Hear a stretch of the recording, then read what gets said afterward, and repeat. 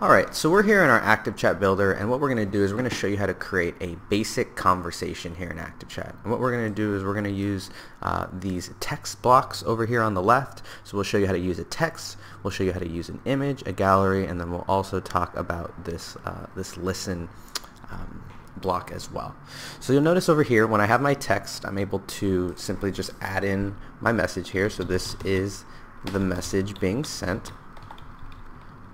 Okay, and so you'll notice that I have that and then that'll show up there. If I want to be able to create an image, all I do is I go to my image block and I just drag my image over there and I can replace that here and looking to just use that.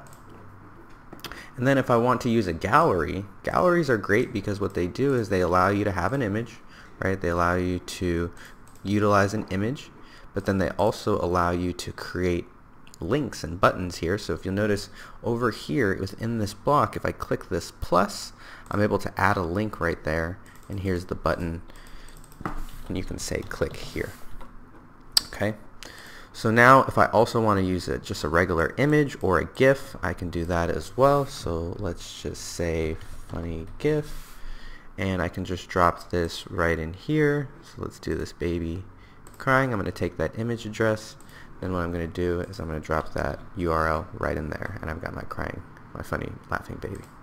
Now what I need to do to connect these conversation or connect these pieces is I need to go back to my initial catch block, right? This is the, the beginning, the kickstart of this entire skill or flow. And you'll notice what I need to do is I need to drag this yellow button to my block and then I just drag and I connect these two or these, these blocks here. And what I'm doing is I'm going to piece this conversation together just like this. So you'll notice if I hit run, right, what it's going to do is it's going to send that off to the builder and it says agent's been built. Now what I can do is I can go in here and I can put a little delay. So you'll notice that I have this opportunity to create this delay up here. What I'm going to do is I'm going to delay my second one, right, so that it gives me a couple of uh, uh, a couple of seconds to be able to read this first message. So I've got this 2, I'm going to delay it for 2 seconds, right? I want to make sure that it gets delayed for 2 seconds. And then this gallery, I'm going to delay uh, a little bit um, longer as well. So I've got my, what I'm going to do is I'm going to go in here and I've got my, uh, my wait. Okay, I can scroll down to my left and I have my timer. I have my wait. So what I can do is I can just wait for 3 seconds and then I'm going to connect those as well. So I'm going to have to move this into here and connect that. That way I have a little delay and then you'll go to my image and I can delay that for three seconds. Let's say two seconds as well. Let's just delay them all for two seconds to keep it short. So now what I'm going to do is I'm going to go ahead and run this.